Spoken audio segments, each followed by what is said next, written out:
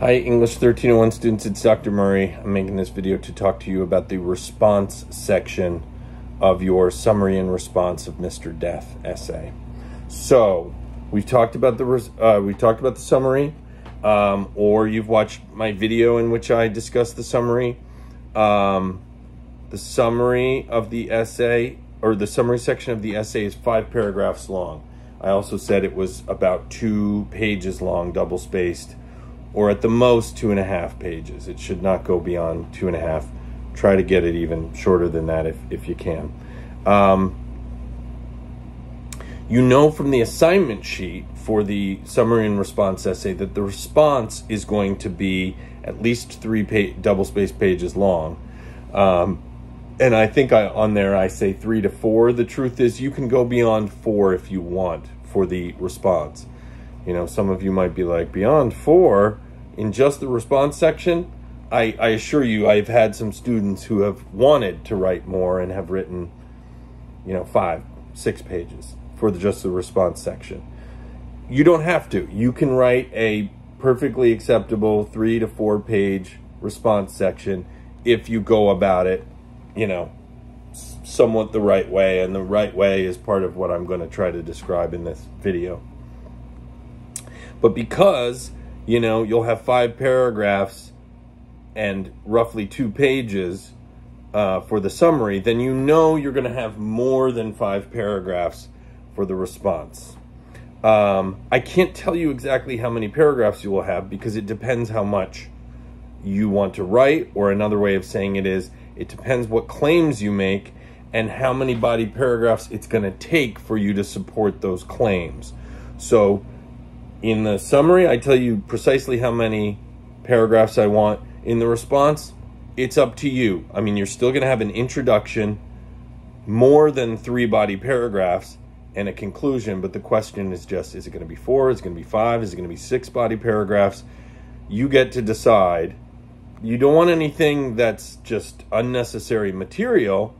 Um, so so don't just go on, you know, um, yammering away. Make sure you're talking about things that are relevant to the claims you make. Or if you're talking about interesting things in your body paragraph and you go, but I didn't make a claim about that. Maybe you need to incorporate a claim that you didn't initially incorporate so that what you're talking about in the body paragraph is relevant.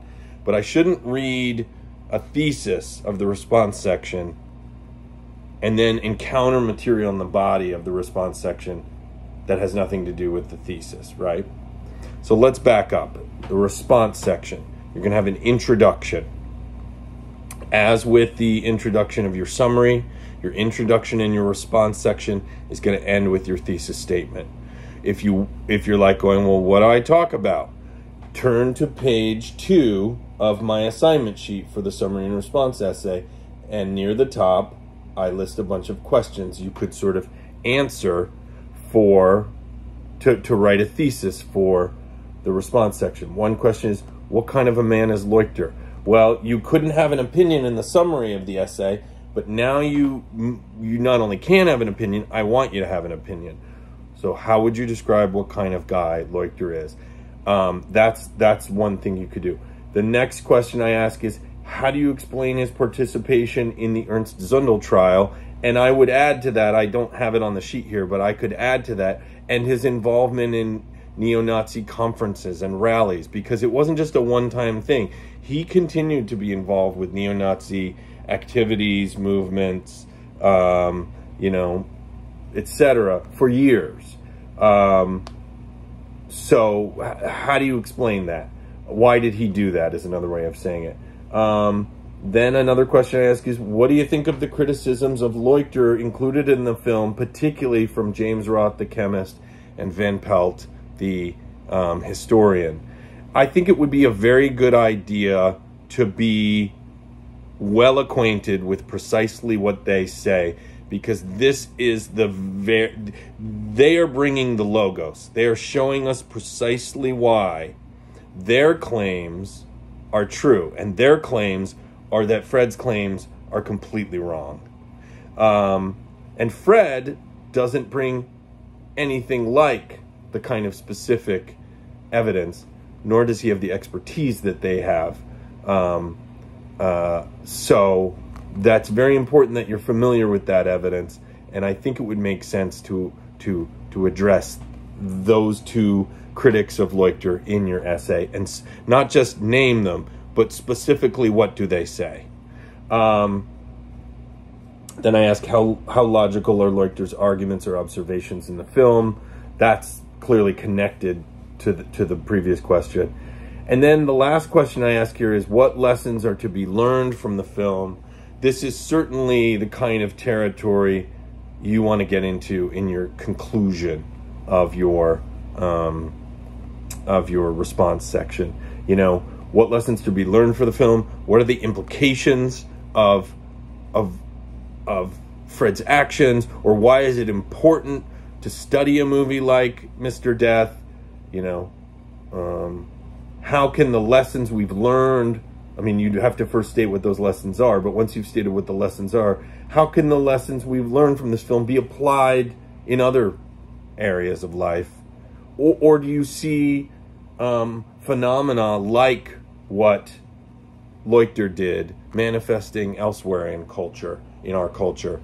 Um, you know, you have some leeway, but this is the kind of stuff, you know, why is this important? Um, what lessons are to be learned? This is the kind of reflection that goes on in your conclusion. Okay, so again, back to the introduction of the response section. How many claims do you make? You're probably going to make more than one because I give you a bunch of questions here to think about, um, but they're all going to be related. So maybe say something about Fred Leuchter, Fred Leuchter's claims, or his involvement with um, the Zundel trial. The question also remains why did he do what he did? And how do we know that he's wrong? So come up with a thesis where you answer one or two or three of those questions and and that will let you know where you're going in the body of your essay, okay? I don't have as simple a structure for you for the response part of your essay than I did for the summary. The summary I gave you this very formulaic way to proceed. In this one, I'm backing off and letting you figure out how to organize it a little more. You still have to have a very clear thesis. You've got to have clear topic sentences announcing the focus of each body paragraph. Every one of those topic sentences needs to be connected to your thesis in some way. Um, but that's that's what you need to do. What do you do in the lead in of your introduction in the response section? Well, don't summarize the film. Don't don't start talking to the reader as if, "Hey, have you heard about this film called Mr. Death? It was directed by Errol Morris." You you've already acquainted the reader with that. So what could you do instead? Well, one thing is you're going to end your uh, summary by talking about the issues that are raised so that will be what's lingering in the mind of the reader. So it would be time perhaps to start addressing that certain important questions were raised and you could start to talk about that. Another thing you could do is you don't always have to speak generally, but you could, for instance, choose an interesting or very telling scene from the film and begin the lead in of your response section, or, or you could either describe a telling scene or, or you could choose a very important quote. Now, one very important quote, or in a way it's two because there are two people talking in this conversation that I've talked about, in, uh, is, is this moment in the movie where Errol Morris asks Fred Leuchter have you ever considered that you might be wrong? And Leuchter responds, No, I'm past all that. I think it's a crucial moment in the movie. I think there's a reason Errol Morris included his voice there when he does not include his voice anywhere else in the film. And I think it's because, you know, he knows we're approaching the end of the film and he's going, I need to make it clear that I'm not going to let him get out of this movie without being challenged about whether he's considered that he's been wrong. And I think Fred's answer is very telling. Um, I could talk more about it, but I'm actually more interested in hearing what you have to say about it. Like, why does he answer that way? What does his answer mean? Um, so I guess what I'm saying is strategy could be to either find an interesting quote or a scene and describe it and have it lead into talking about, you know, Leuchter's choices, Leuchter's attitude, what kind of a guy he is, in a way that might lead into your thesis. Um, that's that's using specifics of like describing a scene using a quote and then commenting on it and having it lead into your thesis.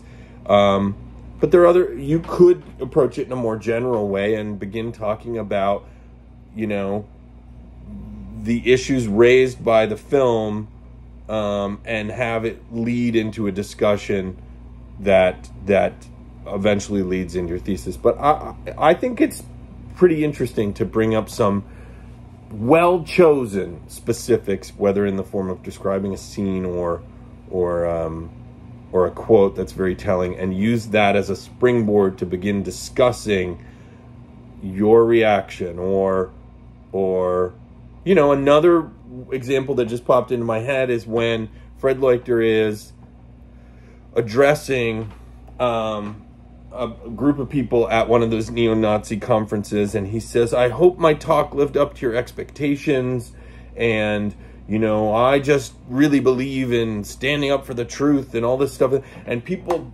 burst into enthusiastic applause, and Fred's just standing there, and he gets this big smile on his face, and it looks to me like a little kid who who just did a trick and everybody's clapping for him and he's getting attention and I feel in a way like it's a moment, this is my perception, not everybody might perceive it this exact way, but it's my perception that inside, Fred is kind of a little kid who never quite got attention.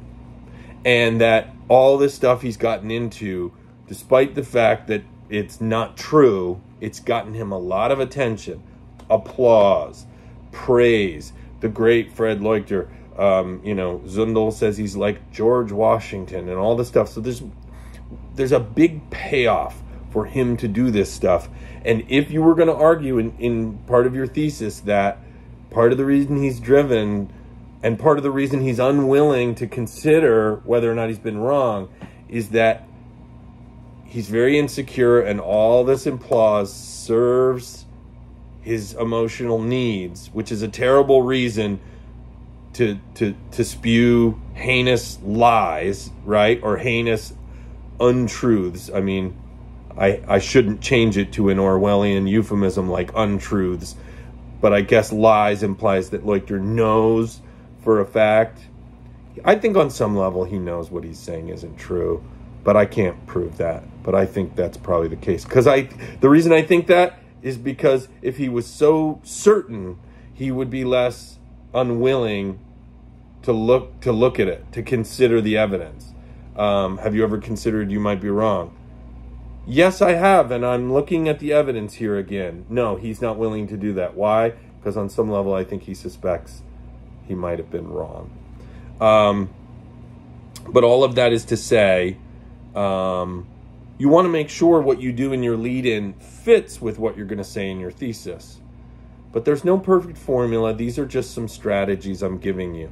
When you get to the body paragraphs of your response section, you want to make sure you have clear, general topic sentences that announce what the focus of that paragraph is. Then get right to giving us evidence in the form of describing a scene, presenting a quote, something that'll support what you're saying. Then you need to analyze that evidence. You need to, to explain what it means, what it shows us. And that's the sort of cycle you go through in a body paragraph. Claim, evidence, analysis, and explanation. Okay? Do that for each of your body paragraphs.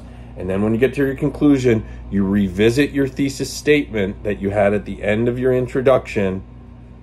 But then beyond revisiting your thesis, this is where you get into why is all this important?